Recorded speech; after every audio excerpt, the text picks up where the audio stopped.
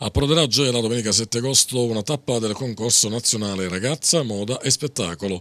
L'appuntamento è previsto al Paradisia Park alle ore 21. La rassegna, dedicata alla bellezza, è giunta alla sua ventottesima edizione. Ragazza Moda e Spettacolo è un concorso nazionale con la finale internazionale che si svolgerà a Isola di Caporizzuto in Calabria.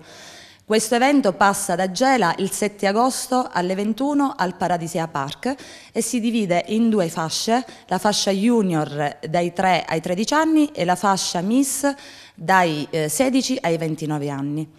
Eh, una giuria di professionisti eh, giudicherà eh, le ragazze, le cinque finaliste passeranno alla finale regionale che si terrà il 21 agosto a Fiumefreddo con la finale internazionale che si svolgerà a settembre a Isola di Caporizzuto. Presenti alla serata il patron Tonino Galli, eh, il direttore creativo Diego Tedesco e il responsabile di segreteria Michele Delluti.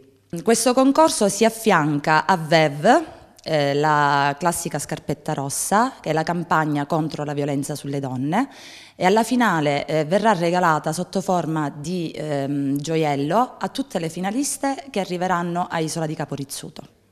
Attenzioniamo anche Macchitella con un evento di moda importante, la selezione è la prima volta che è qui a Gela e spero insomma, che i cittadini numerosi partecipino a questa manifestazione, questo spettacolo che arricchisce l'estate gelese.